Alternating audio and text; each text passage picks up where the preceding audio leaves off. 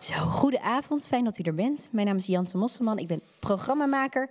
Uh, en dit programma is Publieke Intellectuelen. En dit keer over Edgar Cairo.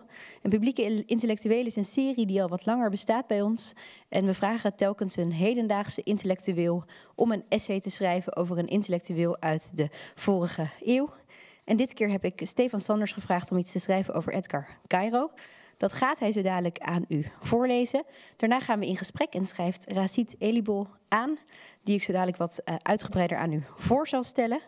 Uh, eerst ga ik wat uh, enigszins standaard bibliografische informatie over Edgar Cairo opdreunen, zodat we dat allemaal vers in ons geheugen hebben. En daarna stel ik Stefan Sanders aan u voor. en dan begint hij met zijn lezing.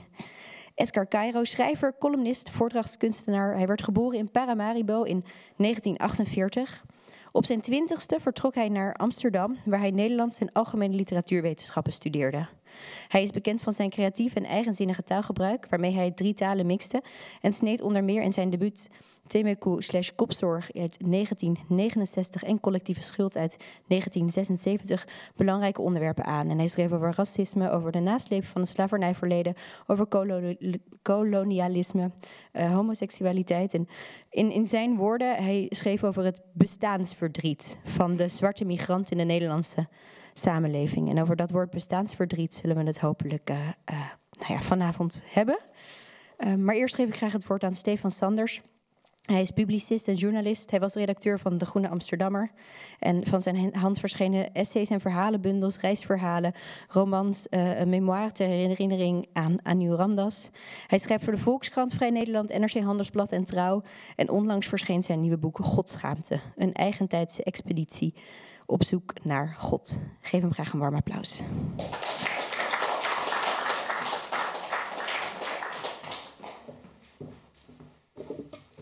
Dankjewel Jante. Goedenavond iedereen. Um, ik wil graag deze avond, deze lezing, opdragen aan uh, Cindy Kersenborn. Uh, omdat ik haar gekend heb. Uh, ze is gestorven in 2019, zoals velen van u weten. Maar uh, in 2011 heeft ze die geweldig mooie film gemaakt over Edgar Cairo. Ik ga dood om jullie hoofd. En die film heeft mij um, een aantal boeken van Cairo opnieuw doen lezen en herlezen. Ook beter begrijpen, omdat uh, ik geen Surinamer ben. Um, de, althans, daar zeker niet geboren ben. Wel heel veel geweest inmiddels. Maar dat specifieke wat, wat Cindy, ook als Surinaams geborene kon laten zien van Edgar, van Cairo. Dat heeft mij hem beter doen begrijpen. Dus uh, ter herinnering aan Cindy. Als iemand een nestbevaarder wordt genoemd, is dat meestal niet zo aardig bedoeld. Zo iemand praat of schrijft over misstanden die in de eigen groep spelen of spreekt daar zelfs kwaad over. Die eigen groep is trouwens nogal problematisch uh, als je praat over Edgar Cairo. Want die konden zonder al te veel moeite zo vier, vijf eigen groepen uit de grond stampen. Maar het idee van die nestbevaarder, van het verwijt is duidelijk. De nestbevaarder hangt de vuile was buiten. Zo iemand doorbreekt de omerta van het genoegelijk onder elkaar zijn en laat buitenstaanders meeluisteren en meelezen alsof er geen vijand bestaat. Achter die gevleugelde Duitse uitspraak, Feind hört mit, de vijand luistert mee, die je zo gemakkelijk laat vallen, zelfs als je denkt dat je gewoon nog steeds Nederlands spreekt. Laten we duidelijk zijn, Feind hört mit is oorlogstaal. Het is een waarschuwing aan de nationale bevolking of de eigen mensen om zich vooral voorzichtig en omvloerst uit te laten en zo de inlichtingendiensten van de tegenpartij, of ruwer gezegd de vijand, geen informatie in handen te geven. In de Verenigde Staten heette het in de voorbereiding tot de Eerste Wereldoorlog: The enemy is listening. En ook de Sovjet-Unie, die is eigenlijk vanaf haar bestaan, heeft deze nationale slogan, Find Hurt Meet, geadopteerd, kun je rustig stellen en, kom er zo op terug, maar het, meest dwingend en dringend gold deze waarschuwing van september 1939 tot het einde van de Tweede Wereldoorlog, en wel in Nazi-Duitsland. De papieren van de nationale paranoia zijn niet per se hoogstaand. En die voeg ik aan toe, die van het paranoïde groepsdenken trouwens ook niet. Het, dit programma is uitgesteld. Uh, het was eerst in begin maart was het gepland. Ik heb deze tekst natuurlijk ook alweer één of twee weken van tevoren geschreven. En toen was daar Poetin. En toen hadden we weer een vijand. Um, ik las het natuurlijk vandaag even over, omdat ik wist dat ik het moest voordragen. En ben ik nou tegen het vijand denken? Nee, soms is dat nodig. Heb ik trouwens altijd gedacht. Ook al in de jaren 80 en 90, uh, de jaren 80 toen de Sovjet-Unie nog bestond. Uh, dat, ik geloof dat eigenlijk nog steeds. Dus die, die vijand die is wel, wel reëel. En ik denk alleen dat uh, er nog nooit een, een land is geweest dat een oorlog heeft gewonnen door de eigen bevolking zo te intimideren dat ze niet meer durven te praten. Ik denk dat dat verlies van vertrouwen namelijk, als het in een land of in een groep gebeurt, veel groter is dan een verlies van wat dan ook. Want dan heb je als het ware al verloren. Dus ik, ik hou het toch nog eventjes bij dat die vijand en find hurt meet. Ik vind het niet zo'n verstandig advies. Um, het bijzondere aan Cairo is dat hij met zijn geschreven en gesproken werk is geslaagd meer dan één vijand te bedienen. Als hem werd verweten een nestbevuiler te zijn, en dat is meermalen gebeurd, zowel van Nederlandse als van Surinaamse zijde, was het hem gegeven zich af te vragen, wel welk nest uh, hebt u het over? Het Surinaamse, het Nederlandse, het homoseksuele of biseksuele, het academische, het paranest, waar zijn eh, wortels lagen, dat district ten zuiden van Paramaribo. Want laten we wel wezen, er waren er genoeg die zich stoorden aan Cairo's vrijmoedige taalgebruik. Waarin Sranang, het Nederlands-Surinaams en het Nederlands een intense vrijage aangingen. Om als het moest weer plaats te maken voor neologismen en bastaardwoorden die hem zo van de tong rolden. Het antwoord op het verwijt van al die taalpuristen had Cairo in alle voorkomende gevallen bij de hand. Laat hem baya. In Edeboro. Nogmaals Cairo. Van iemand die slechts zijn dinges onthoudt, iemand die niet in de gaten heeft waar mensen het in een bepaalde kwestie over hebben, want hij is niet kien, zegt men, ja, zijn hoofd is geboord. Hij heeft als het ware een gat in zijn verstand. Inede Boro. Het interessante is dat Sanang een lingua franca is. Een, taal die niet alleen buitenlandse invloeden kent, Engels en Portugees, maar die vooral is gevormd door Afro-Surinamers, terwijl ook de invloeden van Hindustan, van Javanen en nog weer andere Surinaamse groepen merkbaar zijn. Laat ik in ieder geval vaststellen, Cairo rotzooide in de talen die sprak.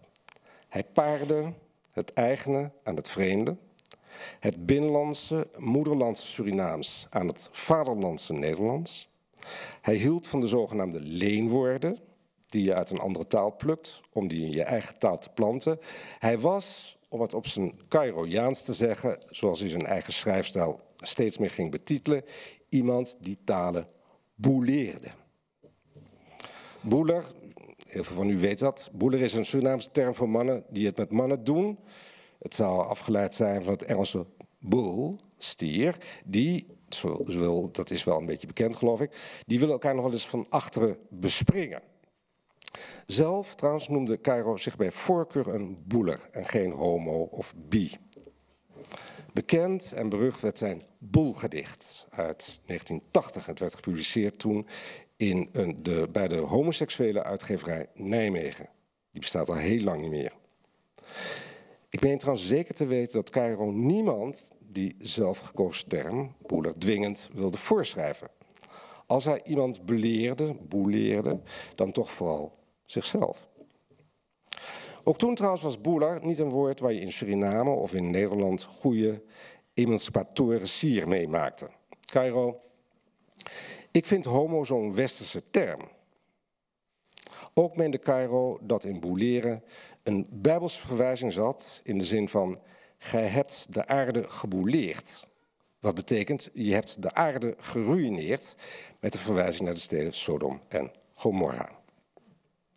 Terzijde, het, het, was, het was echt een leuke tijd hoor, de jaren tachtig. Zeker dat, dat, dat, ja. Ik bedoel, ik heb dat zelf meegemaakt. Eh, die ene keer dat ik Edgar Cairo in levende lijf heb ontmoet, was ook heel leuk en heel erg jaren tachtig. Um, ik, ik, ik noem mezelf, mijn Nederlandse boeder zelf, toen een flikker. In navolging van de rode flikkers die mij voorgingen. En die ook precies schenen te weten, de, de schenen wisten te raken van mensen die geneigd waren de homofiele medemens te dulden. Ja, ik, ik denk overigens dat boelding, dat is natuurlijk eigenlijk een, een hele, de, de, vertaling uit de jaren tachtig voor wat we nu queer noemen. Want dat boelding, dat, dat vertelt natuurlijk eigenlijk helemaal, ja, dat je, je, je begrijpt wat er gebeurt. Het is gedrag. Maar het gaat niet over ik ben ten diepste die of die, of mijn essentie of mijn identiteit is dat en dat. Dus het is een, een ding dat je doet, een boelding. Nou, dat is, dat klaar. Een pejoratieve term valt dus om te buigen tot een geuzennaam. De gesproken taal van het erf tot jouw eigen idioom. Je kan stellen dat Cairo zijn schrijvende leven lang bezig was om verguisde taal, zoals hij het zelf noemt, van achterbuurt en erfjesmensen weer binnenboord te halen en een nieuwe lading te geven. Hij spreekt zelf over taalvernieuwing, taalschepping plus verruiming, normen, taalgebruik. Hij eigende zich, of misschien moet ik zeggen zijn mond, eigende zich al die verschillende talen toe. Mengtalen, dialecten, idiolecten. Hij deed, zouden we nu zeggen, aan cultural appropriation. Maar even een terzijde, hij deed dat als een gekoloniseerde man die naar de taal van de overheerser greep, om het ook weer heel schematisch te zeggen. En dat vind ik eigenlijk niet zo mooi gezegd, ik, ik ga het beter zeggen. Uh, Cairo kende veel meer talen en socio-dialecten dan de meeste Nederlandse Nederlanders. Uh, hij hield er geen dubbel bewustzijn op na, zoals W.E.B. Du Bois ooit schreef over Afro-Amerikanen. Cairo had een vier of vijf of zes of zevenvoudig bewustzijn. Het idee van leentjebuur spelen was bij Cairo niet per se politiek, al was het ook politiek. Hij was grenzeloos nieuwsgierig en hij was ook heel hebberig. Hij pikte wat hem van pas kwam. Wat was leen? Wie was de buur? In ieder geval zag Cairo zichzelf als een leenheer, die in taal toe-eigening vooral toch een liefdesverklaring zag. Hoe sterk hij zich ook maakte voor de orale traditie, die de Amerikaanse inheemse al kende, en niet met de Afrikaanse uh, traditie, die Afrikaanse tradities die later via de slavenschepen Latijns-Amerika bereikten. Het aanstootgevende in die tijd aan Cairo was vooral toch dat hij schreef zoals hij sprak. Zijn woord werd gedrukt, gepubliceerd, veel te lezen in zijn Volkskrant columns en in zijn boeken. En zoals u weet, het gedrukte woord kent sinds lang een aureool. Het is heiliger dan het gesproken woord. Het smeekt om een algemene standaard. Cairo zelf zegt over de acceptatie van SN, Surinaams-Nederlands. U moet trouwens weten dat acceptatie, dat is ook echt een schrijfwijze, met uh, AKS, dus niet met twee C's, acceptatie, hè, dat is echt heel erg jaren 70, 80. Acceptatie van SN, geaccepteerd, geschreven SN, zegt Cairo, bestaat nauwelijks. Geschreven taal die aansluit bij de spreektaal is verdacht. Dat ding moet duidelijk zijn. Dat puur Surinaams-Nederlands beladen en problematisch is. Laat staan dat Masra Cairo met zijn Cairojaanse schrijfdingers de boel komt opfokken. Einde citaat. Deze zin geschreven in de jaren 70, klinkt ons met zijn dinges en opfokken zeer hedendaags in de oren. Je kan het nou nu overal op straat horen. Uit, in, de, in Randstad zeker, uit witte, gekleurde en zwarte monden. Officieus heeft de Cairojaanse mixage van verschillende talen en uitspraakwijzen enorm schoolgemaakt. Vooral ook in de hip-hop scene en de rap scene en in die van spoken word. Het tweede dat mij opvalt, hier schrijft Masra Cairo, de titel die hij zichzelf gaf, nog Masra nog, dus meester nog tussen aanhalingstekens. Die zouden in de loop der jaren vervallen toen zijn psychose zich in toenemende mate openbaarde. Edgar Cairo werd steeds meer de derde persoon in zijn eigen verhaal. Maar Cairo's taalintuïtie was feilloos. Er is een roerend moment in die toch al zo roerende film van Cindy, Cindy Kersenborn, Ik ga dood om jullie hoofd, gemaakt in 2011, over de schrijver en schilder, want, want hij had niet alleen meerdere bewustzijns, hij was ook een dubbel talent, op zijn minst, Cairo. Er komt een tante van Edgar Cairo in voor, in gesprek met Cairo's broer Arthur. Arthur is vandaag hier gelukkig in de zaal. Uh, en uh, dan legt broer Arthur uit wat die beroemde, inmiddels al tien jaar dode broer van hem bewoog met zijn schrijfdinges. Die tante, die geen van de boeken van haar neef heeft gelezen, pijnst even en zegt dan: Dus zoals men praat, zo schreef hij. Dat is niet alleen een messcherpe samenvatting van de Cairoiaanse methode, maar het is meer. Hier klinkt de duidelijke echo van die andere mengtaal, het Afrikaans, dat door de Zuid-Afrikaanse schrijver en kunstenaar Breiten in 1973 werd gekwalificeerd als een bastardtaal, dus een bastaardtaal. Er ging een huivering door het merendeel van het witte goor, zeker toen Breiten Breitenbach de Afrikaners, zijn, zijn eigen mensen zogezegd, ook nog eens een bastardvolk, een bastaardvolk noemde.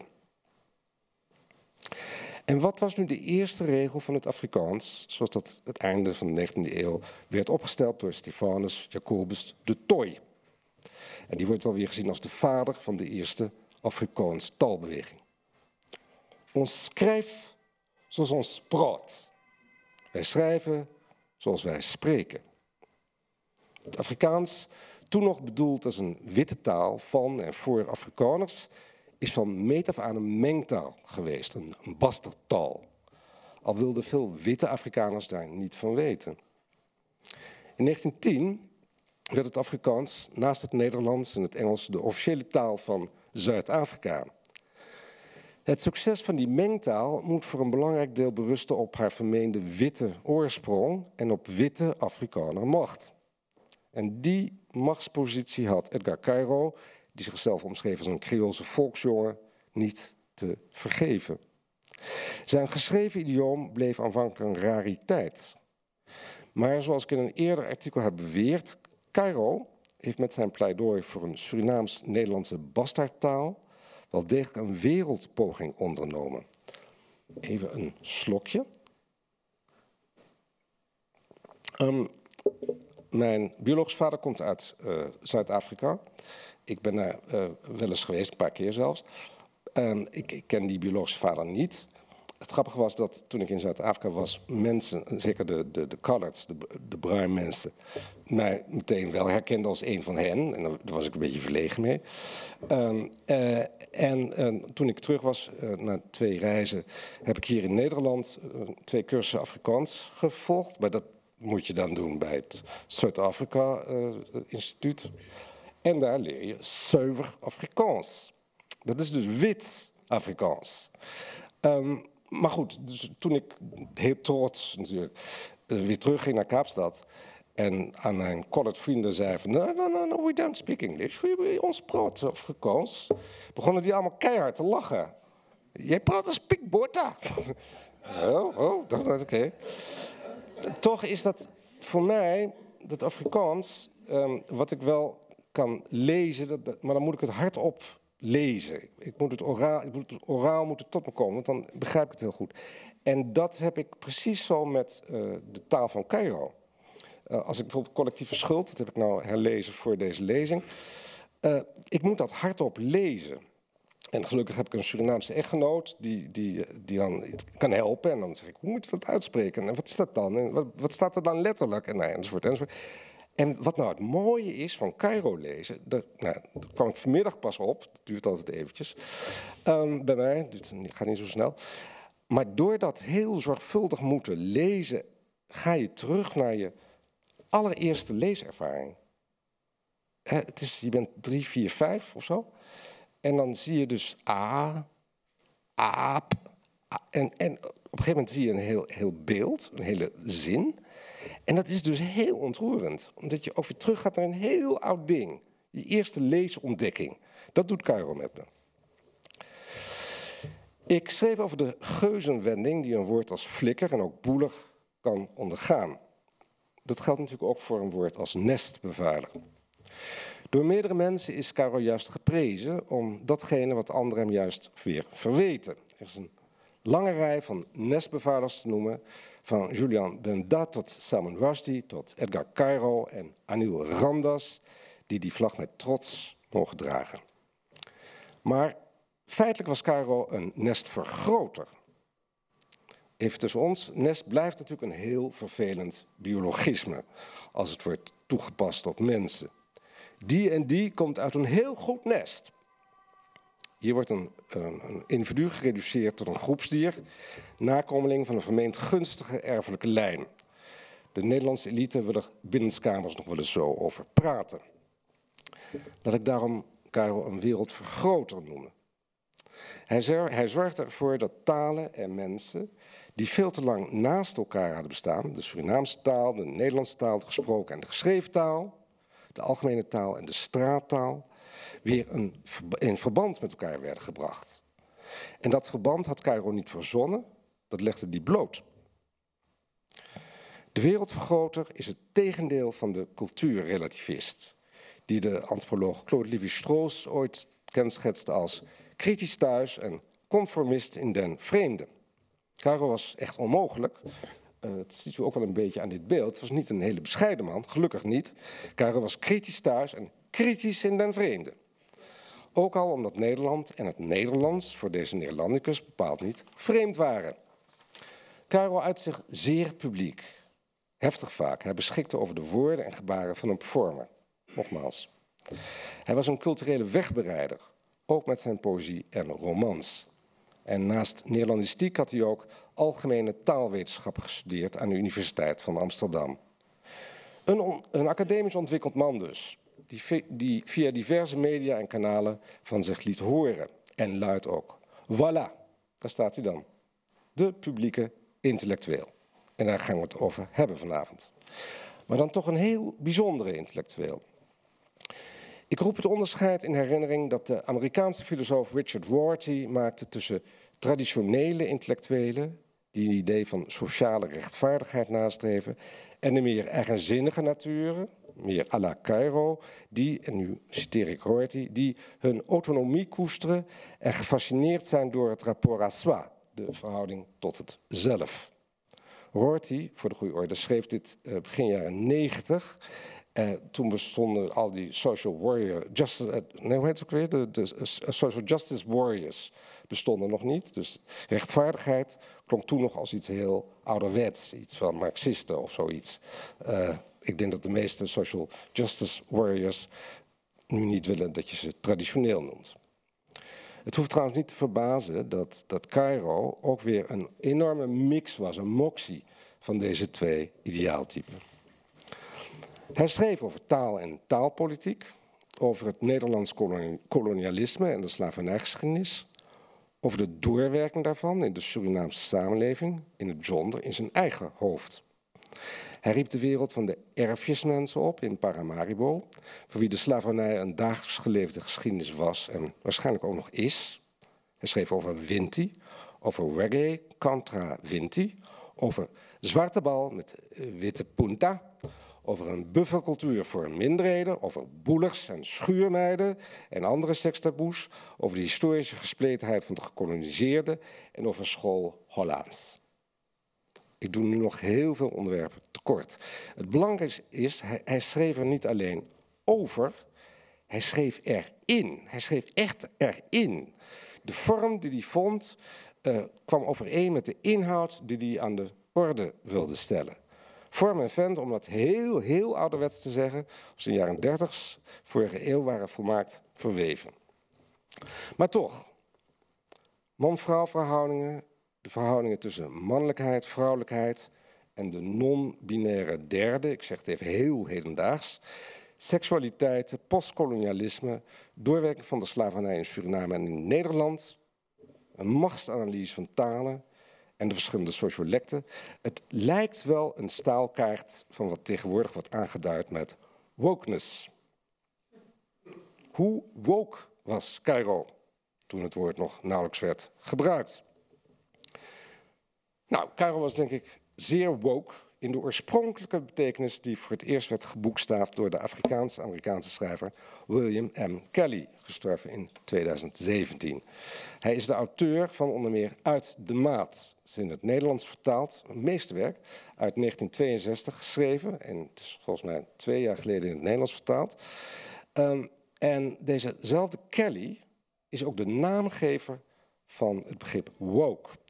Want ook in 62 schreef hij een artikel in de New York Times met als titel If you're woke, you dig it. Hij hoort dat toevallig een, een buurtgenoot zeggen, een zwarte buurtgenoot in Harlem, stay woke, blijf alert. En zo is te danken aan de alertheid van Kelly dat we nog steeds of steeds meer over woke praten.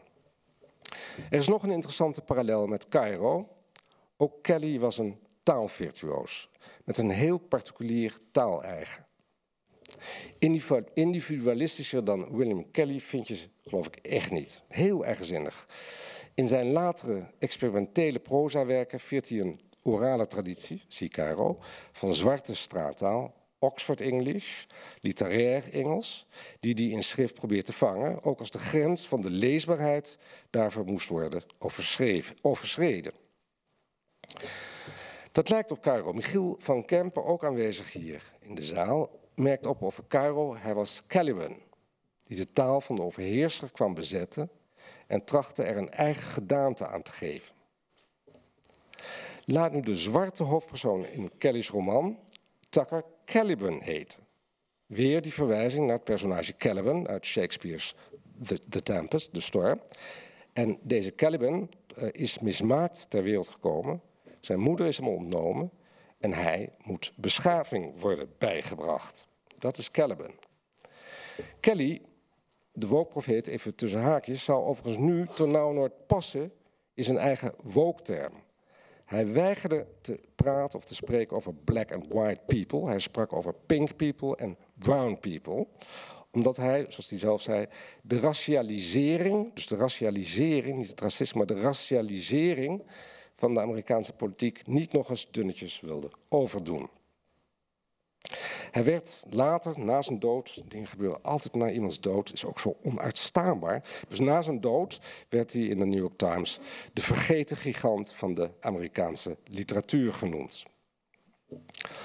Een tweede schrijver die ik wil noemen, ook om Cairo's werk een globale relief te geven, is de Afro-Amerikaanse auteur Fran Ross.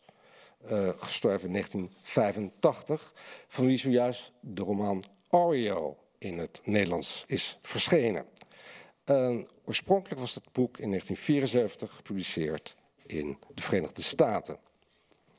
Dezelfde Michiel van Kempen heeft de schrijver Caro ooit treffend getypeerd als het talige draaihoofd. Nou, die Fran Ross, die Afro-Amerikaanse schrijfster, is daarvan de overtreffende trap. Die vrouw die journalist was en ook teksten schreef voor de bekende acteur en stand-up artist Richard Pryor, leverde met Oreo een duizelingwekkend debuut af. Ik, ik, hoop werkelijk dat u het allemaal, zeker in de Nederlandse vertaling ook gaat lezen. Dan is het ook wel te volgen. In het Amerikaans zal het best heel moeilijk zijn. Uh, het, het, is een waanzinnig verhaal. Ik zal heel kort vertellen. In Oreo, dat koekje, hè, dat weet u, dat, dat, dat, dat, nou ja, dat, is een beetje zoals Nederlanders, Surinamers, andere mensen spreken over een bounty. De Oreo is een koekje met wit van binnen. Hoe zat het nou weer? Wit van binnen, bruin van buiten? Of was het omgekeerd? Ja, wit van binnen, bruin van buiten. Nou ja, als je, mij is wel ook vaak verteld dat ik een bounty ben. Nou, dat is nooit leuk bedoeld hoor. Dus, maar dat is, Oreo heeft precies die connotatie. Hoofd, hoofdpersoon in dat boek is ene Christine. Die zowel van Joodse afkomst is, via vadersfamilie, als Afro-Amerikaanse. We zouden iemand nu een dubbelbloed noemen. Uh, uh, als zij verdwijnt, verdwijnt ook meteen. Als zij geboren wordt, verdwijnt meteen ook haar vader. En zo groeit ze op bij haar grootouders, omdat haar moeder bezig is met haar eigen theatertours en anders wel met het oplossen van wiskundige vergelijkingen. Ja, het is een beetje een raar boek, dat, dat hebt u misschien wel begrepen. De zwarte grootvader is, hoewel een stevige antisemiet, zeer bedreven in het Jiddisch. Omdat hij uh, een, een handelaar is die het vooral van zijn Joodse klanten moet hebben. Dit is geen psychologische roman, ik zeg het er meteen bij. Het is een roman die uitdrukt hoe de positie was van zwarte, witte en Joodse levens op dat moment. Uh, of het is bijna een parodie op een roman. Het is een groteske. Fran was, was haar tijd ver vooruit, zeggen de uitgevers dan. Zeker nu over Oreo. Ik weet eigenlijk nooit of dat fysiek wel mogelijk is, je tijd vooruit zijn. Of juist op zijn staart trappen. Dat wordt ook wel, in ieder geval tegenwoordig, toen ook misschien wel, over Cairo gezegd. Nogmaals, altijd als iemand dood is, dan, dan wordt het dus leuk. Zeg het tijdens leven. Dat is veel beter. Dat is echt, wel, echt dat is veel beter.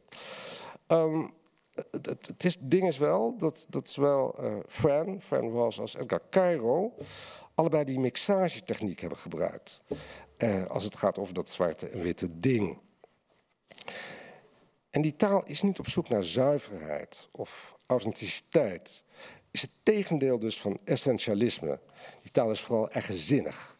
Die wil gehoord worden en uitgesproken. Ook al is er maar één persoon in de wereld die zich zo uitdrukt. Het is een taal uiteindelijk voor één iemand. Wat niet kan, maar toch kan. Woke zijn is inmiddels een politieke uitdrukking geworden. Politiek gaat, zoals u weet, over macht en over meerderheden, over minderheden die meerderheden willen worden, of minderheden die globaal gezien misschien al lang meerderheden zijn. Daar hoort een groepstaal bij, die van de grootste gemene deler. En een begeleidend groepsdenken, dat uiteindelijk de eenling als onderdeel ziet van vooral die ene groep. Hoewel Cairo alle belangrijke onderdelen van het radicale antiracisme onderschrijft, doet hij dat toch steeds in een taal die nooit en werkelijk helemaal nooit jargon wordt. U kent de geformateerde taal waarin het lijkt of er een spraakcomputer aan het woord is. Het begint altijd met institutioneel racisme. Dat wordt weer afgewisseld met white fragility en white privilege. En dan wordt de non-binaire positie van stal gehaald en de cisgender. En dan is het motto altijd to decolonize. Dat to decolonize is niet zozeer een, een opdracht, maar het is inmiddels een stopwoord geworden. Het komt eigenlijk altijd van pas, zoals andere mensen, vooral Amerikanen, maar dus ook Nederlandse jongeren, echt om het andere woord awesome zeggen. Awesome, awesome. De taal is dus een middel dan om tot een andere, wakkere politiek te komen. En taal is dus nooit een doel in zichzelf. Een taal kan juist een mens oprichten. Kan een mens amuseren, in de war brengen of aan het huilen maken. Kan een mens laten schaterlachen om anderen en uiteindelijk om zichzelf. Om die hele hopeloze onderneming, om bijvoorbeeld een schrijver te willen zijn. Als Cairo, een schrijver die wil zijn taal zijn. Eigentalig, eenling, eigenwijs. En in die zin moet je denk ik concluderen dat Edgar Cairo niet hoogst actueel is. Je mag hopen, werkelijk, je mag hopen dat hij weer wordt. En dat er meer schrijvers en woordkunstenaars en performers komen die weten dat politiek niet het hele leven is. Dat niet alles taalpolitiek te vangen valt. En dat het soms nodig is te spreken en te schrijven alsof er in de verste verte, in de verste verte geen vijand te bekennen is. Ik mis kortom in het aanzwellende woke-koor de enkelvoudige stem van Edgar Cairo. Dank u.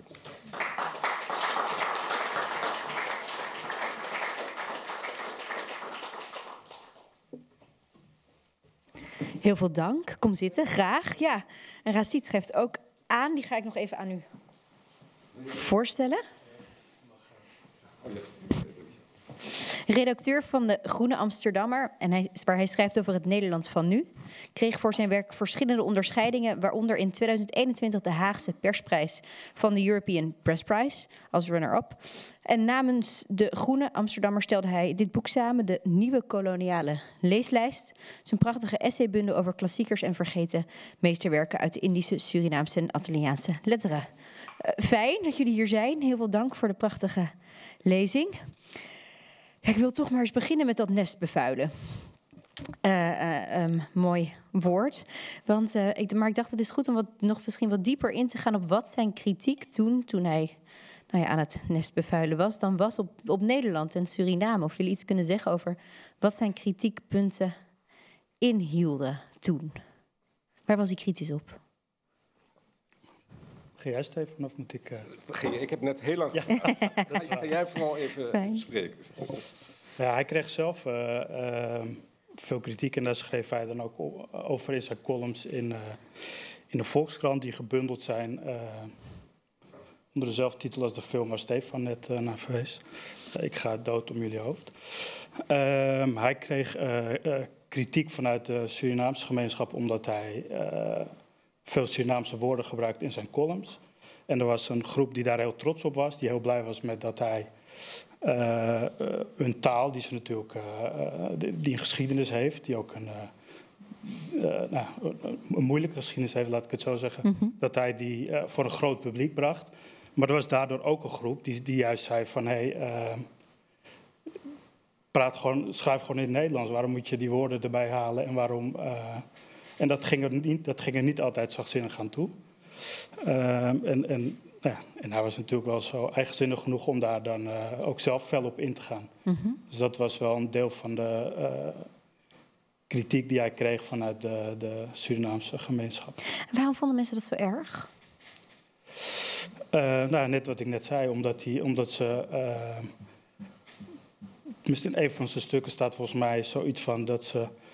Uh, er was ook kritiek vanuit de Nederlandse gemeenschap. Mm -hmm. Dus het was niet alleen van. Nee, nee, nee, zeker niet. Nee. Er was ook kritiek van: hé, hey, mm -hmm. we snappen het niet, we snappen die columns niet. En hij schreef in een van zijn, in een van zijn columns schreef hij bijvoorbeeld dat. de, de, het zijn zijn woorden, hè, dat de Surinaamse gemeenschap of een deel daarvan het pas zou accepteren dat hij Surinaamse woorden gebruikte als de Nederlandse gemeenschap dat zou, ook zou accepteren. Oh ja. Nou ja, het, ik kan me die columns herinneren. Uh, en ik spreek, sprak zeker toen geen woord Schanang. En dat was ook echt moeilijk om te lezen. Mm -hmm. dat, dat, was echt ingewikkeld. En zoals in, in heel veel Caribische landen, trouwens in Zuid-Afrika zie je hetzelfde. En uh, is er iets heel ingewikkelds in de hand. Als je gekoloniseerd bent, uh, wat natuurlijk voor het Caribisch gebied geldt, maar natuurlijk ook voor Zuid-Afrika, als het over gekleurde en zwarte mensen gaat, uh, dan, dan probeer je um, zoveel mogelijk aan een standaard te voldoen. En de standaard was vroeger voor de onafhankelijkheid in Suriname Nederland. En je kon dan nog wel Surinaams-Nederlands spreken. Maar je, Schanang tegen je ouders was nou niet de bedoeling.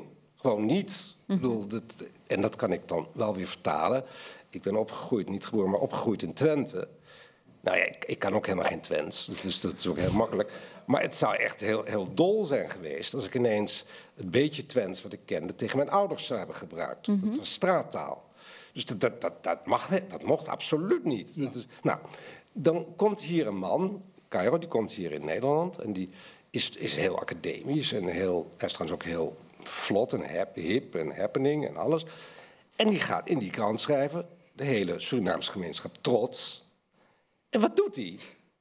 In plaats dat hij nou eens heel mooi Nederlands gaat schrijven, wat hij kan. Mm -hmm. Hij is naar de Amst geweest. Ja. Hij is overal geweest. Hij heeft gestudeerd. Nederland hij heeft gestudeerd. Nou. En wat doet hij? Gaat hij een beetje zo raar, een beetje erfjestaal praten. En dan gaat hij zo opschrijven in de krant. Beschamend. En dan al die Nederlandse lezers, die denken...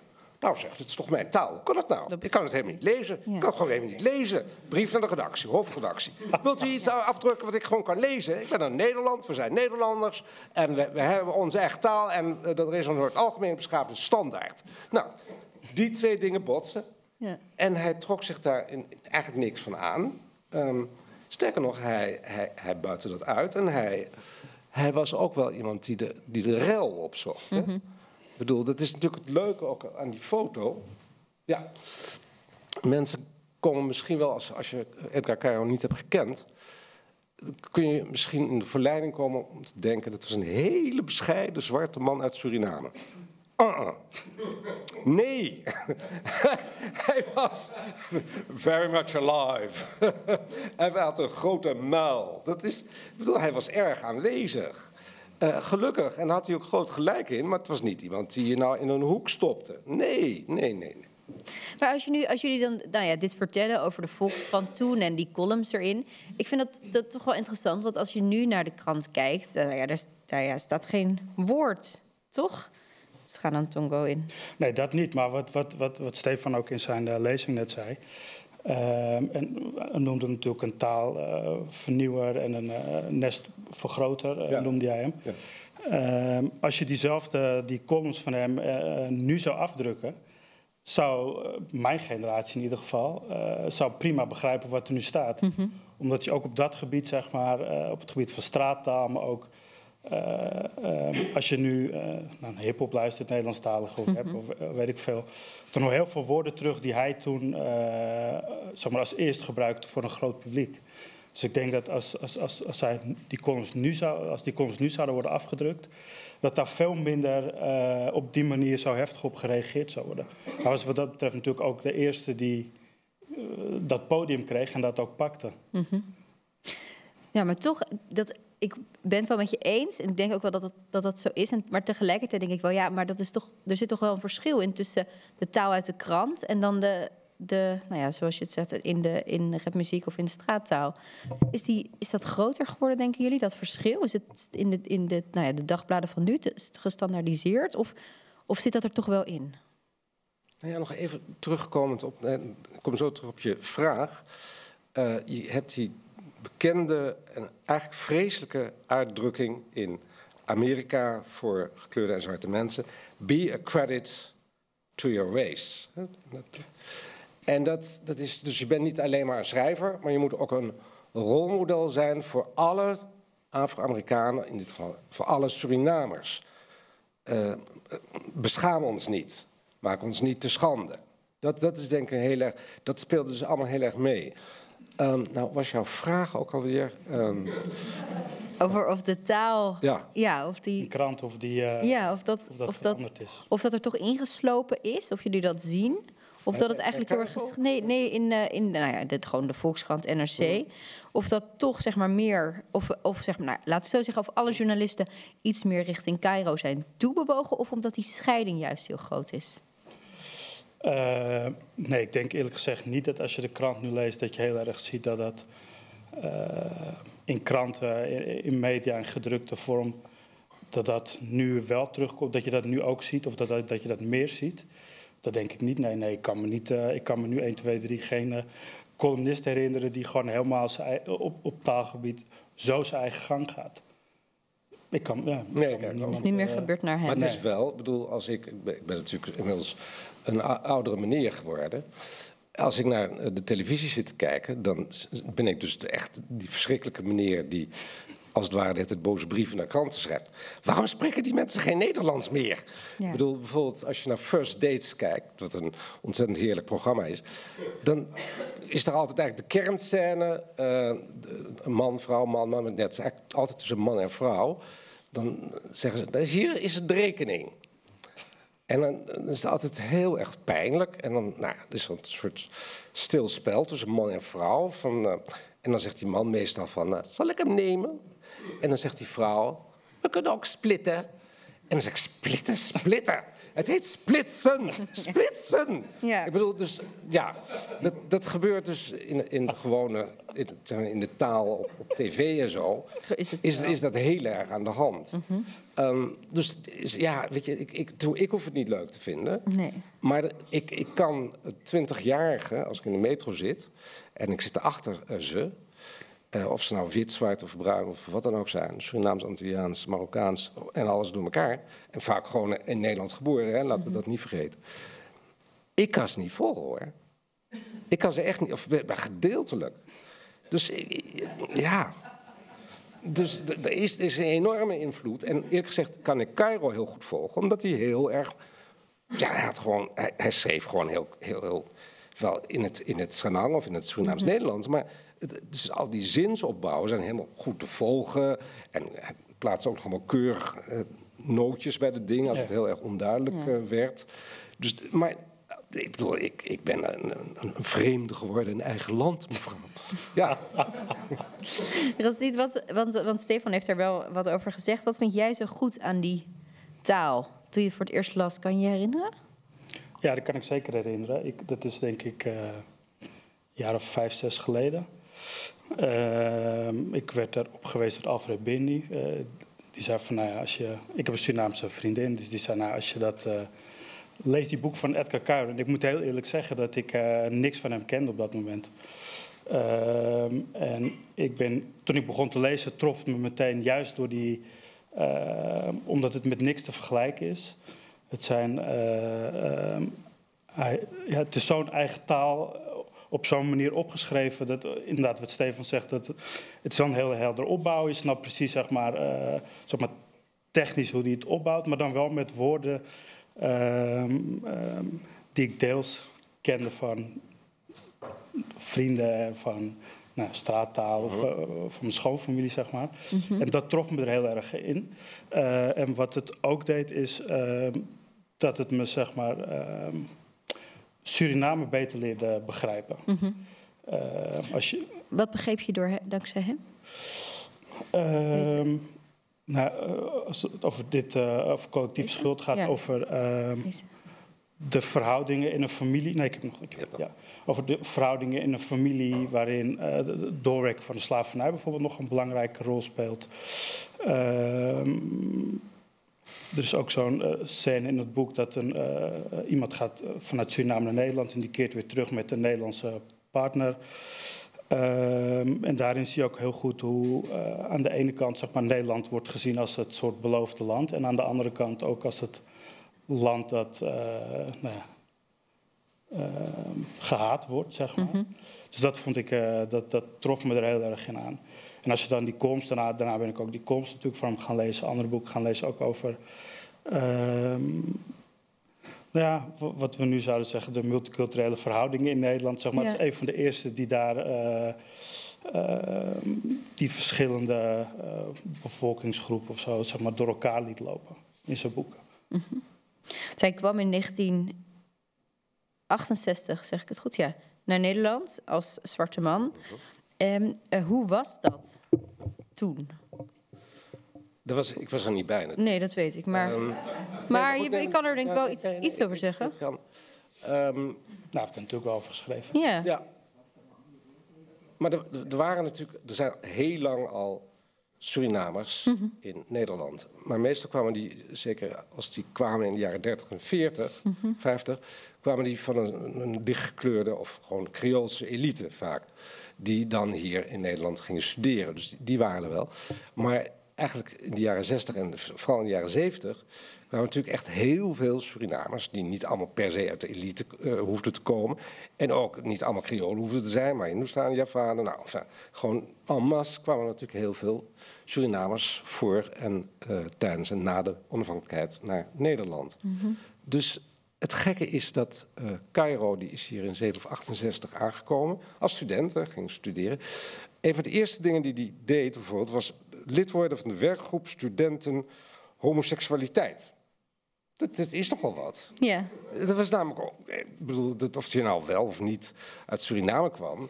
Dat waren, dat waren hele kleine werkgroepjes studenten homoseksualiteit. Dus dat, was een heel daring thing. Mm -hmm. Dat deed hij dus gewoon zo, boem. Hij ging ook meteen een actie voeren en dan ging hij met zo'n dancing in. Of, hij is ook nog te zien met een protestbord bij, uh, de, op, de, op, het Binnenhof om te protesteren tegen 248 bis, uh, de, de, de ja. wet die uh, seksualiteiten regelde tot een bepaalde leeftijd. Dus hij was, um, hij was een wel heel zelfbewuste man. Mm -hmm volgens mij, dat, dat, dat kan zijn broer beter weten. Ja, het is ook wel scènes toch dat hij wel beschrijft dat hij natuurlijk uh, vervelende dingen ook meemaakte. Ja. Dus zo'n scène die ook is nagespeeld, uh, zag ik toevallig van de week toen ik dat even opzocht op YouTube. waarin hij in een supermarkt is en dan volgens mij kattenbroek gaat kopen. En dat de vrouw tegen hem zegt, eh, de man die twee studies heeft gedaan, eh, Ja. schrijver is van allemaal boeken, dichter Ja. en weet ik veel, die dan tegen hem zegt, sir, eh, that's not to eat. Ja. Weet je wel? Eh, dat heeft natuurlijk ook wel... eh, Ja. Hij heeft het Meeg- heel komisch opgeschreven natuurlijk, maar het is natuurlijk echt afschuwelijk. Ja, dat is het ook. En ja, dat heeft hij ook goed uitgebuit. Ja. En geluk, hij heeft ook een heel groot gelijk in dat hij dat heeft gedaan. En tegelijkertijd was hij, tenminste wat ik me van die eh, ene ontmoeting herinner... Hij, hij was zo niet een verlegen man of zo. Het was niet iemand over wie je heen kon lopen. Helemaal niet. Eh, Dat, ja, dat, dat, dat, zat er gewoon helemaal niet in. En wat je nooit moet vergeten... Het was natuurlijk allemaal diep, diep institutioneel racisme. Dat is wel allemaal best.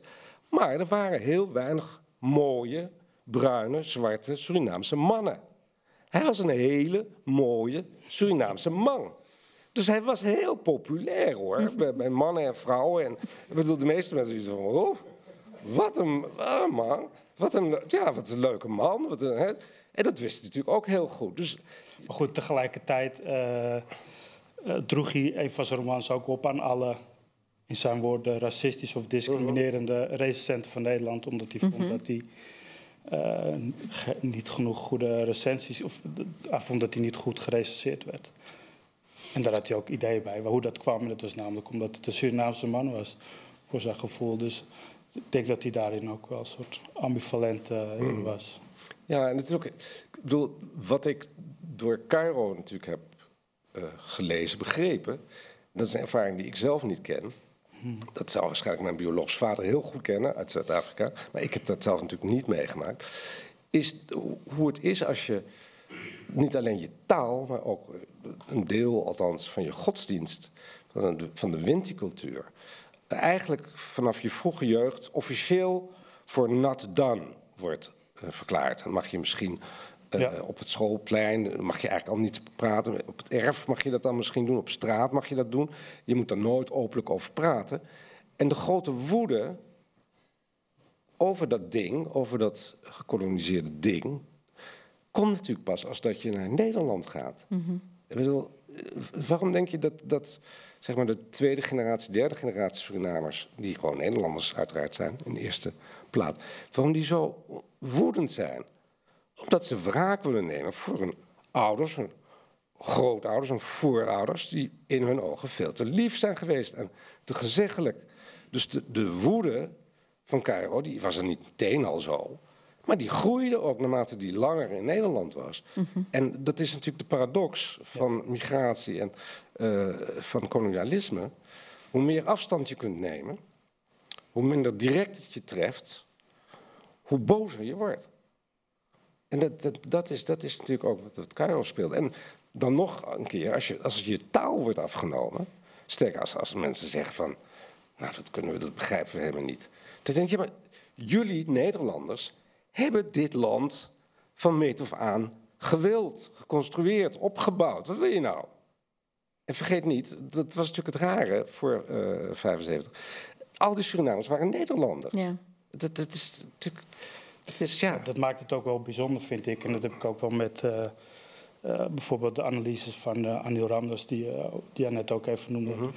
Uh, dat ze uh, met, vanuit een ander land naar Nederland kwamen en dan ehm, uh, het, het, land wel heel goed begrepen, omdat ze natuurlijk uh, vanwege de, de, de, banden die er zijn, maar wel met uh, de blik van, van, met een andere blik zeg maar, naar Nederland keken en daardoor toch dingen zagen die wij hier niet zien. En dat maakt, dat maakt Cairo ook wel echt bijzonder nu nog, zeg maar.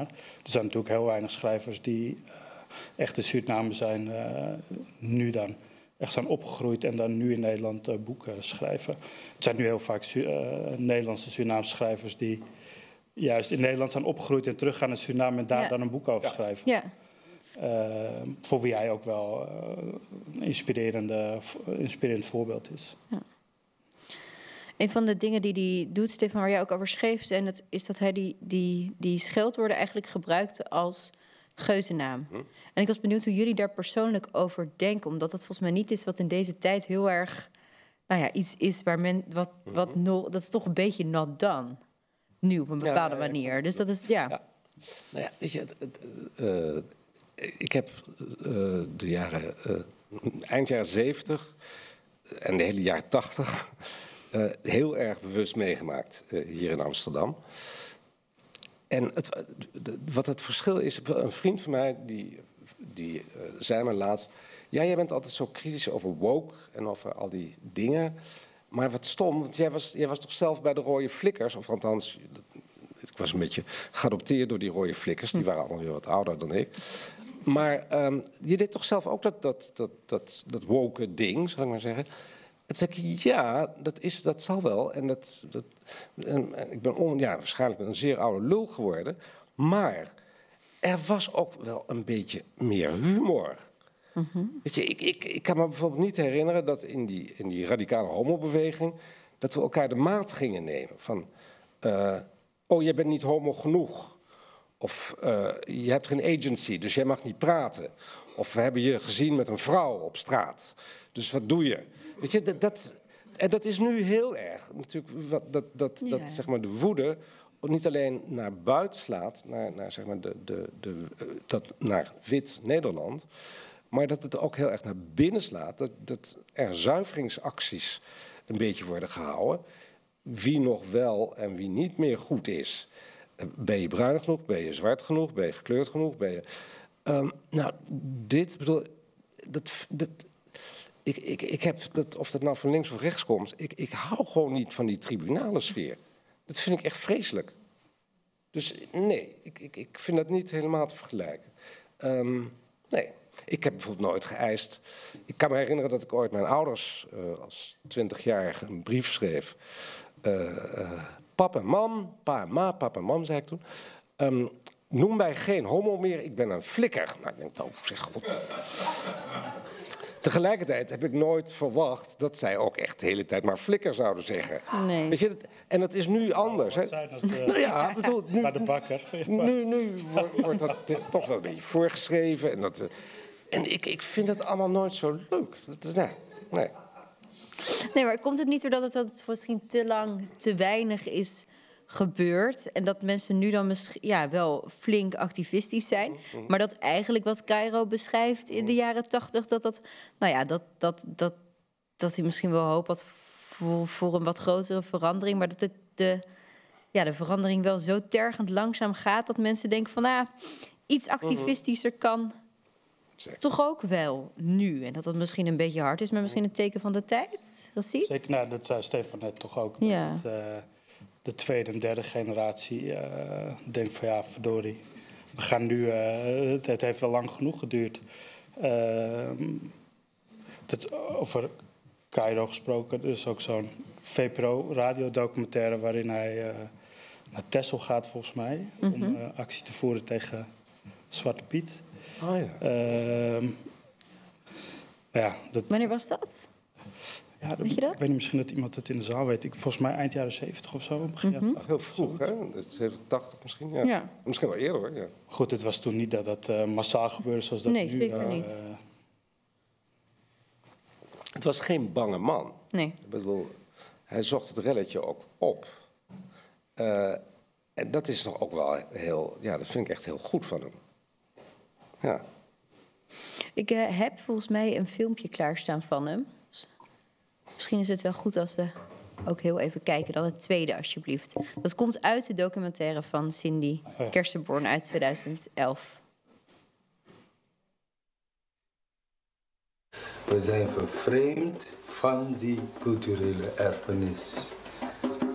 We kunnen die rijkdom in ons niet tot uiting brengen. We zijn gedegradeerd tot mensen die alleen maar kunnen klagen via ingezonden stukjes over discriminatie. Terwijl we verdomme zoveel meer zijn.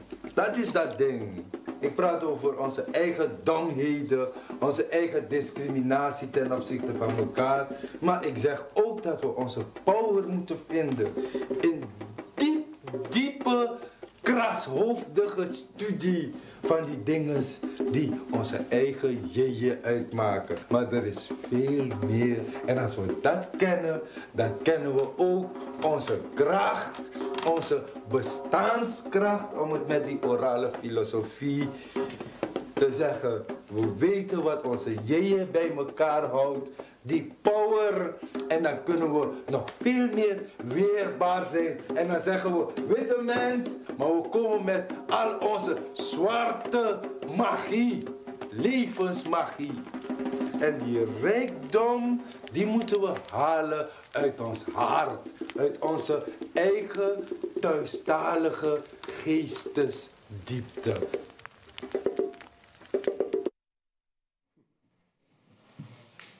Dat is een prachtig fragment, vind ik. als u de film niet gezien heeft, hij is te zien op uh, Pickle, dus kijk hem vooral. En Racit, is dit, is, gaat dit over dat bestaansverdriet? Kan je daar iets over zeggen? Ik kon, heel, ik kon het begin even niet uh, goed horen. Wat zei hij nou dat ze met z'n allen samen moesten... Nee, ik, ik, kon het net niet horen, sorry. Dat is oké. Ja. Maar, maar, volgens mij gaat het ook heel erg over dat, over dat bestaansverdriet. En misschien wil je, ja, ik zou het mooi vinden als we daar nog wat over konden hebben. Wat was zijn bestaansverdriet? Uh, dat, die vraag laat ik aan Stefan even. Jacob. Nou, ik ben heel goed daarin. Ja, dus dat, dat scheelt een stuk. Uh, nou ja, dat, letterlijk. Dat, dat um, je wordt geboren in een land als Nederlander, als Surinaamse Nederlander. Uh, hij kwam uit een, zoals dat heet dan, een eenvoudige geschiedenis, familie. Met wortels in Para, dus net buiten de stad. Um, hij was natuurlijk een razend slimme uh, man, een jongen. Gaat naar de, uh, Amst, de algemene, wat is een middelbare school? Is dat Amst? Ja, dat was uh, nou, de goede school. en daarna gaat hij dus naar Nederland. En alles wat je dan tot je 18e, 19e, 20e hebt geleerd, als Surinaamse Nederlander, blijkt ineens waardeloos te zijn. Hier in Nederland. En, ineens kan je, kan je, gewoon, je krijgt geen geld voor je, voor je dollars. Terwijl je altijd in dollars hebt betaald. Mm Dus dan, dan, ja, dat is, dat is bestaansverdriet. Dat is werk, bestaansverdriet. Alsof de, de, grond uit, onder je voeten wordt weggetrokken. Dat, dat je, hè, en je denkt, maar die grond is door bepaalde mensen weggetrokken. Mm Is niet door iedereen weggetrokken. Is door de Nederlandse kolonisator, om het heel groot te zeggen, weggetrokken. Heeft ons gevormd. Er is, was geen Suriname geweest zonder de koloniale macht Nederland. Dit, dit hele gebied, dit, dit hele grote land, vijf keer zo groot als Nederland, is een creatie van datzelfde Nederland. Daar ben ik toevallig in geboren. En ik kom hier in Nederland, mijn land, het moederland, en, of het vaderland. Eigenlijk zeggen ze dan, want eh, het moederland was dan Suriname. Ik kom in het vaderland. En ze herkennen me niet, sterker nog. Ze verstaan me niet, sterker nog het is niks waard. Nou, dat, dat is bestaansverdriet. Mm -hmm. dat, tenminste, zo, zo begrijp ik dat. Dus dat... Ja, maar ik denk dat heel veel Surinamers het gehad hebben. Dat heel veel Surinamers, zeker de uh, generatie die al in de jaren dertig kwam om hier te studeren. Uh, er is natuurlijk een soort Albert Helman-achtige generatie geweest. En dat waren, om het maar even heel raciaal te zeggen, vaak mensen uit licht Creoolse klasse. Uh, uh, nou, redelijk well educated en safely middle class. En die kwamen dan naar Nederland. En die spraken thuis ook al heel erg netjes Nederlands. En voor hen was die breuk minder groot, denk ik. Edgar kwam uit een ander soort familie en in een andere tijd. Het was natuurlijk ook de tijd van Black Power. Uh, bedoel, dat resoneerde allemaal door. Zelfs in Nederland, waar de dingen altijd wel later gebeuren. Maar dat, dat, dat begreep iedereen heel goed. Dus het, kwam, het was een andere tijd, ik kwam uit een ander milieu. Uh, het bestaansverdriet werd in heel de wereld, zeker in Amerika, in de Amerika's moet ik zeggen, duidelijk gearticuleerd. Dus het was ook iets wat je kon aanvatten. Zoals je nu heel goed in die woke cultuur uh, uh, heel lang kan praten over genderverschillen of over non-binaire posities. Ik denk dat het 30 jaar geleden dat mensen die ook hadden aangekeken van, hm, waar gaat het over? Ja. Is dat iets wat jullie kennen, ook in zijn werk, dat bestaansverdriet? Is dat iets waar je iets bij voelt persoonlijk? Nou, dat is natuurlijk wel. eh, dit, dit zit natuurlijk in heel veel van zijn werk. Deze, eh, of het nou zijn columns zijn of in zijn, eh, in zijn romans. Zit natuurlijk wel een van de belangrijke, misschien wel de belangrijkste thema's natuurlijk. Dat die, die, die ambivalente houding die die had naar Nederland toe, zeg maar. En heb je die zelf ook? Of ik dat heb naar Nederland toe? Nee, ik ben hier geboren en getogen. Dus ik heb niet een ambivalente houding met Nederland. Ja. Nee. En jij? Ja, natuurlijk. Ja, nee. Ja, maar ja. Eh, Ik bedoel, dat bestaansverdriet is, het zijn de blues. Mhm. Het- We kennen natuurlijk allemaal de blues. Nou, de- Edgar had de Surinaamse blues. Daar gaat het bestaansverdriet over. En dat eh, met je, verhaal, met je verhouden tot Nederland? nee, maar ja, Om zo interpreteer ik. Nee, maar weet je, nee, Ja. nee, nee, maar weet je, ik bedoel natuurlijk dat. Ja, Nou ja, meer misschien over. Nou ja. ja. ik ben in een land, ik ben in Haarlem geboren, eh, geadopteerd, en daar in Twente opgegroeid.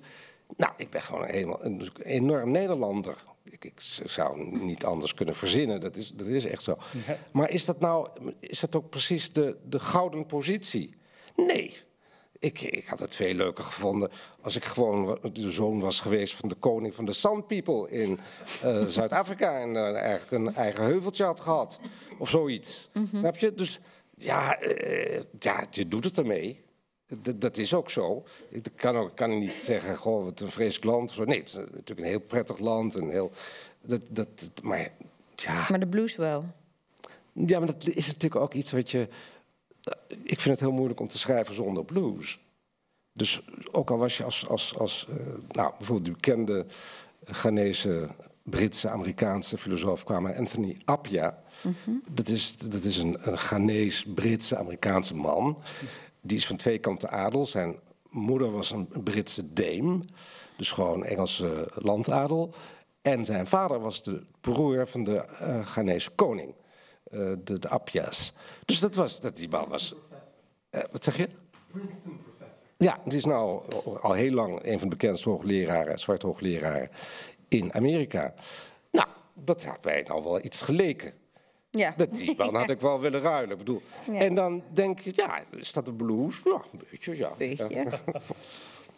Misschien nog als laatste dan heel even eh, eh, over, voordat we naar de zaal gaan, over, zij, over nou ja, hem als, als, als intellectueel in, in het eh, eh, iedereen tegen zich, nou ja, alle, veel vijanden maken onder al die mensen. Ik voel me toch af, omdat het, nou ja, het is, ik ken hem natuurlijk niet, maar ik kan me zo voorstellen. Het is best als je nu ook nu het publieke debat zit, ziet. Het is, het is ook niet altijd leuk. Je moet dat wel durven. En nou ja, sommige mensen houden heel erg van polemiek, anderen schuwen dat wat meer. Maar wat dreef hem? Waarom, waarom deed hij dat? Was, het uit, was hij iemand die inderdaad van de polemiek hield? Of was hij ook iemand die nou ja, vond dat hij dat moest doen? Ehm, nou ja, als je hem ziet voordragen, eh, dan kan je natuurlijk niet anders dan zeggen dat hij daar ook van hield. Op die manier eh, groot, zeg maar. Eh, zijn gebaren waren groot. Eh, eh, om dat te doen moet je natuurlijk wel een bepaald eh, karakter hebben. Ehm, en dat geldt ook, zoals je zegt, voor iemand die van polemiek houdt. Ehm, je, moet het ook wel een comfortabele positie vinden. Alleen ehm, uit zijn werk blijkt wel heel erg dat hij dat eh, deed omdat hij vond dat hij wat te zeggen had. Ik bedoel, je hebt natuurlijk ook genoeg mensen die polemiek opzoeken eh, om de polemiek. Ja. Ehm, dat idee had ik niet, heb ik niet per se gehad bij het lezen van zijn werk, zeg maar. Omdat hij wel eh, ehm, nou ja, iets te, te, te bevechten had. Waardoor hij ook af en toe met een gestrekt been erin ging. Af en toe mensen uitschold. Ja, dus Ja, en, en ehm, nogmaals, als je ehm, zo was niet bang in die zin. Het was, het was ook een, grote man. Hè? Ook fysiek het was niet iemand die even omver zou lopen. Eh, maar hij had, hij had ook een echte kracht in zich. Hoe, hoe kan iemand dat hebben?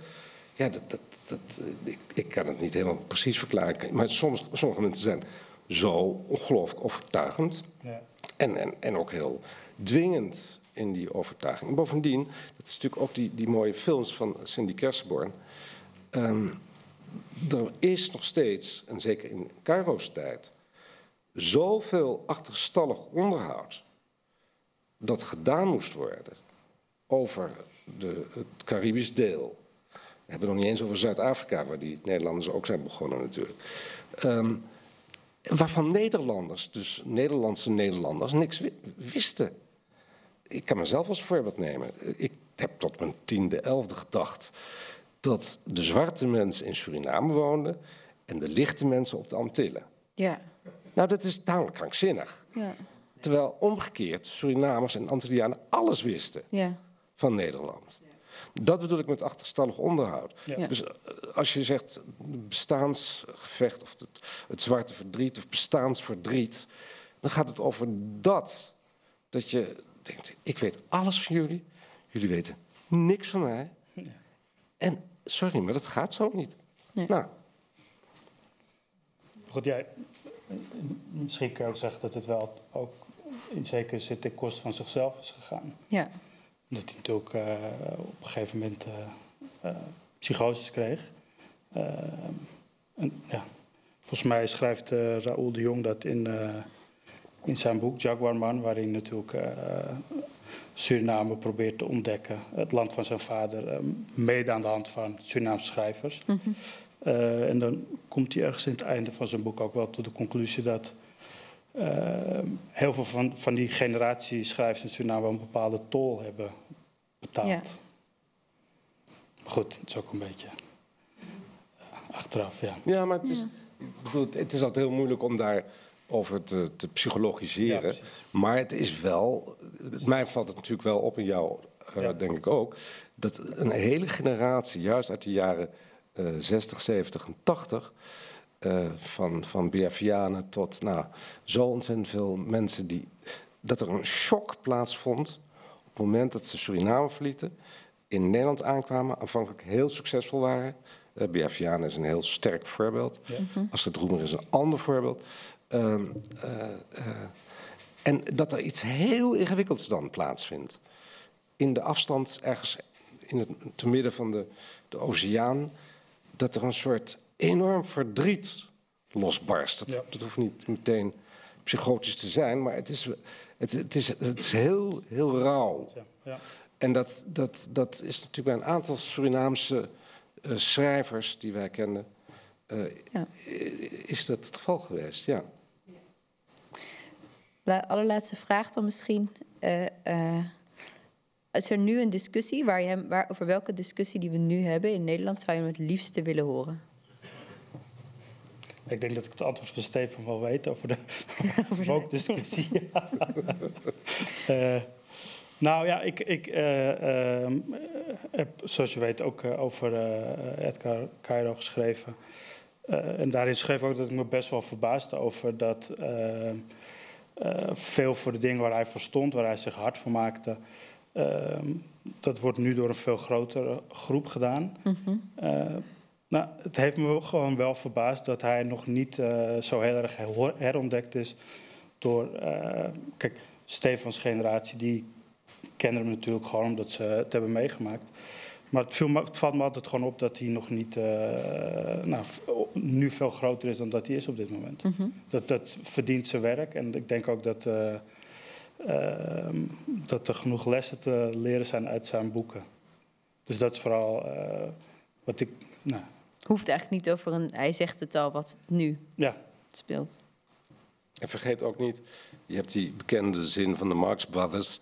I never would join a club that would allow me as a member. Zo was Edgar Cairo ook een beetje. Hè? Bedoel, Dat vind ik dus ook heel leuk aan iemand.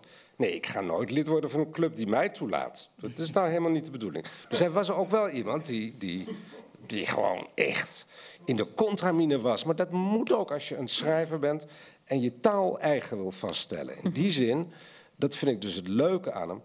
Eh, en ik, ik hoop dat meer mensen dat doen, ook uh, onder de paraplu van wokeness. En dat, nou ja, dat, daar sluit ik mee af in, in het verhaaltje.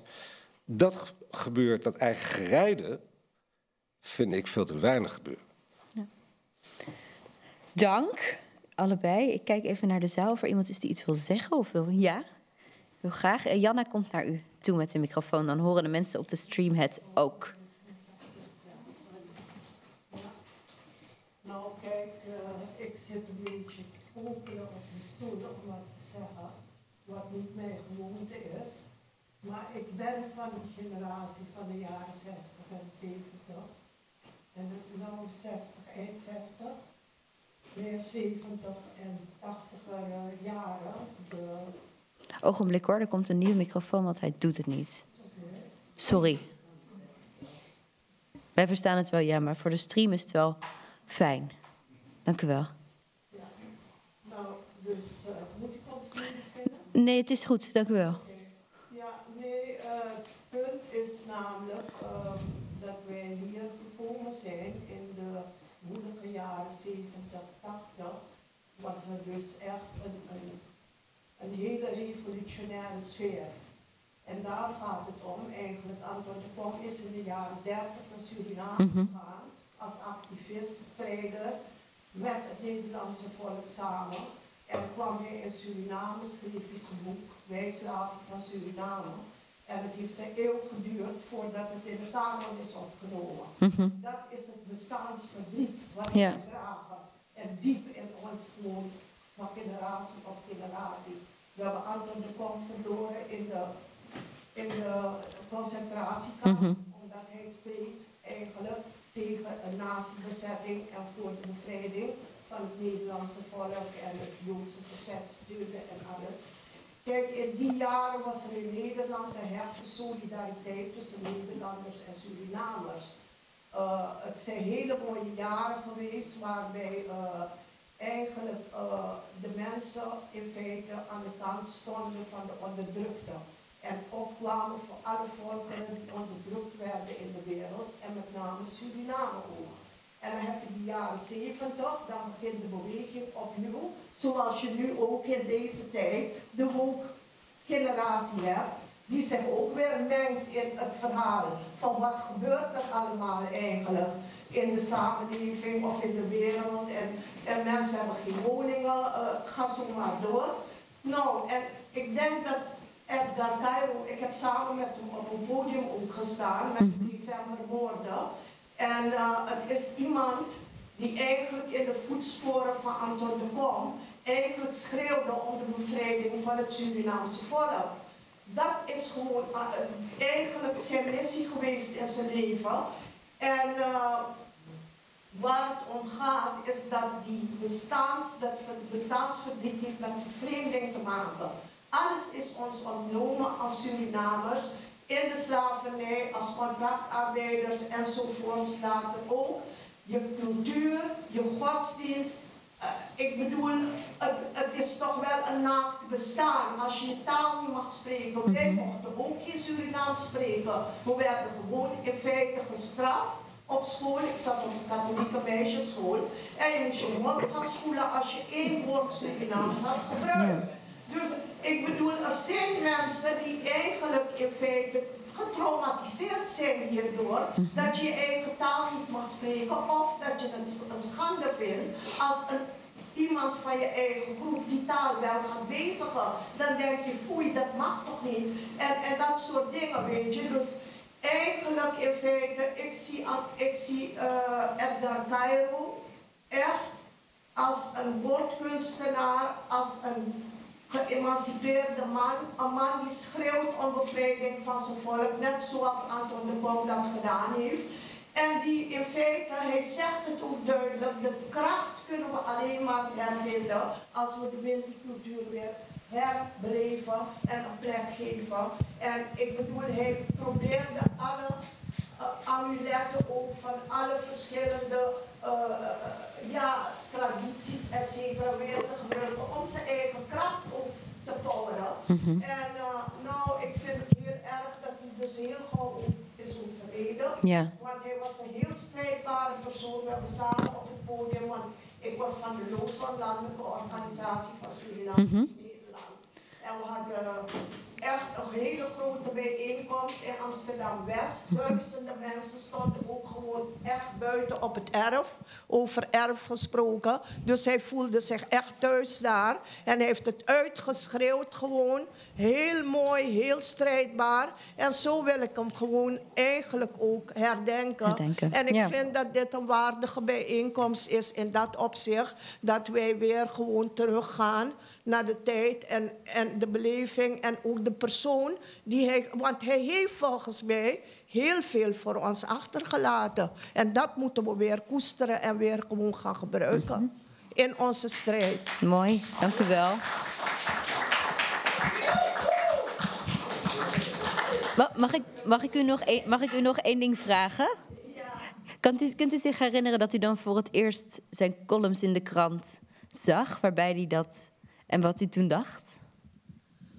Weet u dat nog? Ja, nou, ik bedoel, kijk, we zijn altijd blij geweest met wat hij gedaan heeft. Natuurlijk is het eh, een beetje ingewikkeld geweest voor het brede publiek.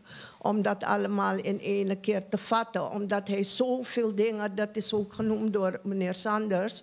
Al die diverse dimensies allemaal en de verschillende uitingsvormen bij elkaar combineerde in taal. En kijk, nu in het straatgebeuren of bij de jongere generaties is het toch opgenomen in de taal. Maar daar is er eigenlijk ook al over gesproken. Dat het het begin was het allemaal, die reacties zijn genoemd. Het was wennen. Maar wij zijn altijd trots geweest op Edgar Cairo.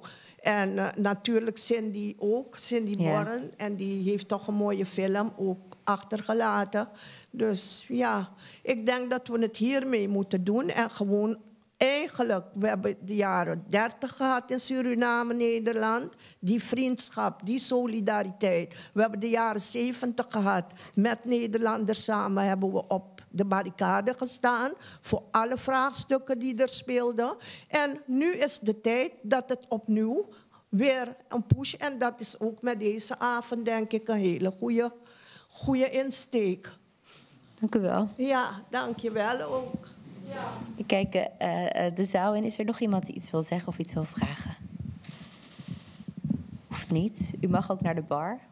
Maar ik wil, maar ik wil graag altijd de ruimte geven. Ja? Nou, ik, ik probeer me inderdaad te herinneren van hoe dat... Ik was een, een twintiger en wij zagen dat, lazen dat in de krant. Ik geloof dat we dat niet helemaal zo goed konden volgen. En, ehm, en hoorden inderdaad de commentaren van inderdaad... Met name denk ik inderdaad... Ik ben midden jaren zestig in Nederland komen wonen als kind.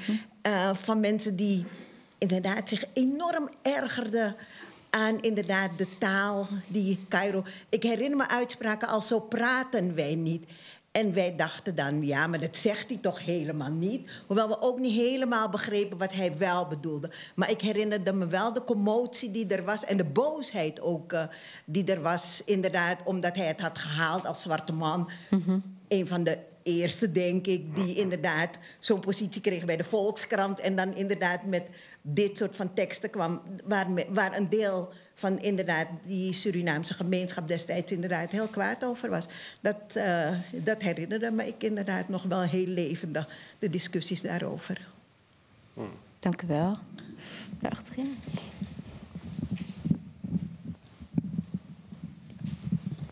Nou, ik was een jaar of 19, ik weet het heus nog wel. Ik woonde in de Gliphoeven. en die stukken kwamen uit. En eh, mijn man en ik, nou, we, lachten, we lagen gewoon dubbel.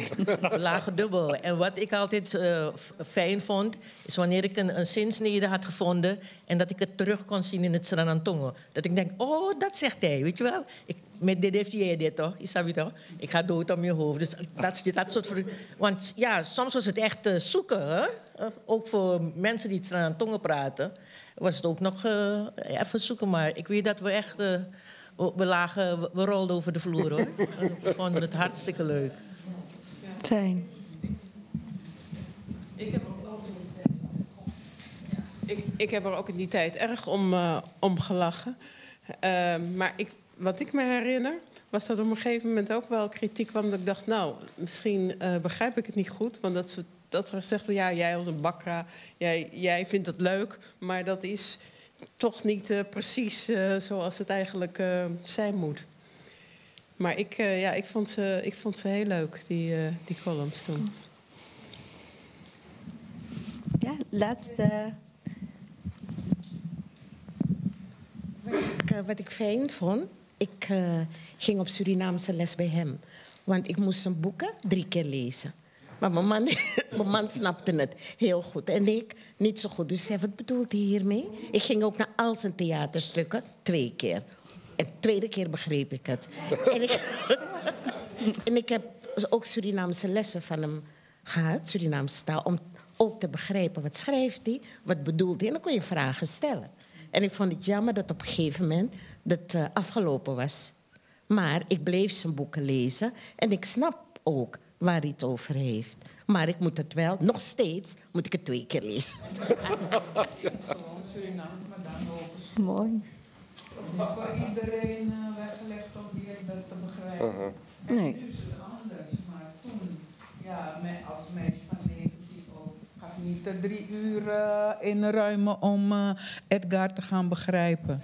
Maar dat is gekomen met de tijd. En dat, uh, dat voedt, tot nog toe voedt dat. Dus uh, dat is wel een pluspunt, vind ik zelf.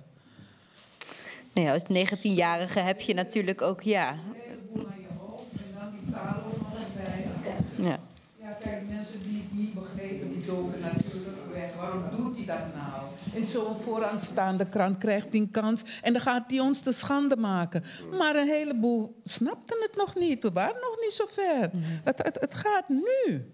Nu zijn we er klaar voor. Dank u wel. Ik mis hem nog. Als hij nog kon komen, elke dag. Elke dag. Ja. Als je nog belt, elke dag. Ja, maar Edgar dit, Edgar. Edgar dit. Dus vandaar dat ze me. Edgar!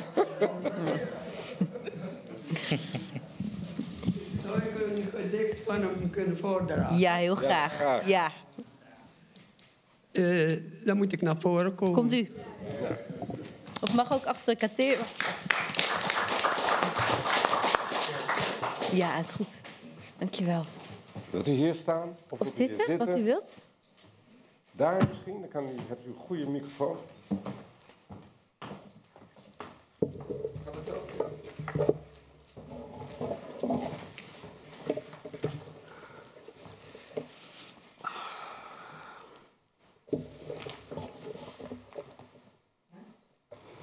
Ja, na de dood van Edgar hè, ben ik mij in zijn werk gaan verdiepen. En uh, zodoende kom, kwam ik uh, om zijn gedichten voor te dragen. Dat doe ik al uh, zeker elf jaar. Ik zal eerst in het uh, Senantongo en dan in het Nederlands. Naar jou, door jou. Naar jou, naar jou, naar jou, naar je. Naar jou de tori miatiso. Naar jou de troki grong fibro. Compur mi nasari pedede e balafu na alla dei, na alla doti di mi naktroe di dei disi, na alla lasi di mi de, fe parno tu troe. Na you, na you, na ye, na you de cici libiso, na you de broco doi stropo compurmi naketi, pekong e wai di mati, na ala dei, na ala feti, di mi faya bro, na di dei di si, na ini ala pori di mi de, fe barno tu troe, na ju, na ju, na ye, Teteng Sasaka Freidoro. En busy full lobby. Ekomi. Naini. You do awinif mide. Kankawang. Na yo. Hoi. Na you. En nu in het Nederlands. Door jou. Door jou. Door jou. Oh jij. Jij die mijn hart vult met verhaal. Jij die mijn adem woorden schenkt als taal. Kom, haal mij uit mijn droefheid. De dood slaat toe en lacht in elk ding van elke dag, in elk ding van overal. Ik word neergeworpen. Vandaar dat ik om jou thans roep, voor ik verloren ga. Door jou, door jou, o jij, jij die het leven voor mij lengt. Jij die uit duisternis licht brengt. Kom, maak mij vrij van ketens, de kwade macht heerst ongekend in elk ding, van elke dag, in elke daad, van elke strijd. Mijn teerling leidt geworpen, vandaar dat ik in nood jou roep, voor ik verloren ga. Door jou, door jou, door jou, o jij, wanneer de tijd zijn vleugels heft en liefde mij als echo treft, ben jij mijn steun die winnen laat. O geestkracht, door jou.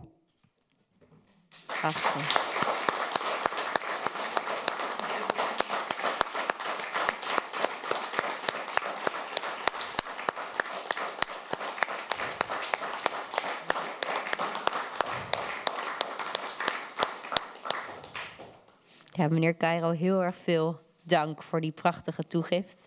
Uh, Stefan Sanders, Rashid Eliboe, ook heel erg veel dank. En u heel veel dank dat u er was. En, uh, voor de mensen die zijn betrokken, merk ik. Goed om te weten dat er een stichting Edgar Cairo is. En dat die bezig is de Portable Cairo samen te stellen, zodat hij weer op de markt komt met een mooi boek. Geweldig. Fantastisch. Ja, dat is heel mooi nieuws. En als u het essay nog wil teruglezen van Stefan Sanders, dan kan dat gratis op de website van de Groene Amsterdammer. Um, en nee, dat was mijn laatste uh, mededeling. Heel veel dank dat u er was vanavond. Tot ziens.